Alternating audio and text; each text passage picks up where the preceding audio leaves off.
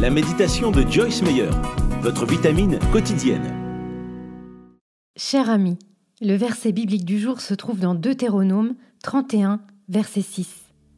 Prenez courage, tenez bon, ne craignez rien et ne vous laissez pas effrayer par eux, car l'Éternel, votre Dieu, marche lui-même avec vous.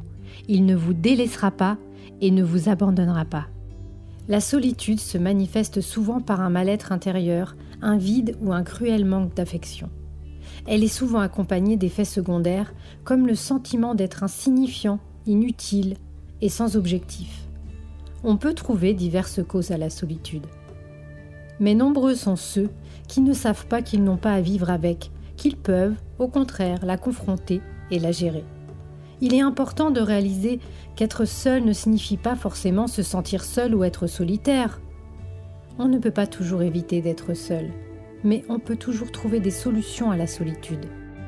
La parole de Dieu nous dit d'être fort et courageux, car Dieu est constamment avec nous.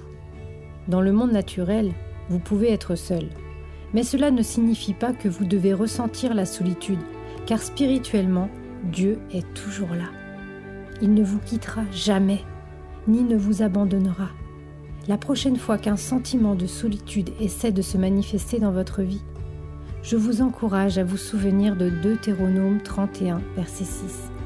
Proclamez à haute voix que Dieu est avec vous et commencez à lui parler.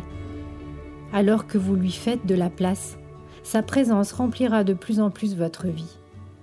Vous n'avez pas à vous sentir seul lorsque la présence de Dieu est avec vous que vous alliez.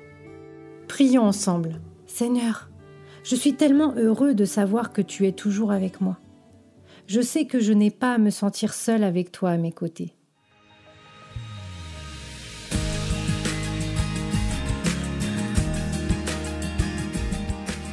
Merci beaucoup d'avoir écouté. Si vous souhaitez recevoir plus d'encouragement de la part de Joyce, abonnez-vous gratuitement à la méditation quotidienne sur joycemeyer.fr slash méditation. Passez une bonne journée et à très bientôt.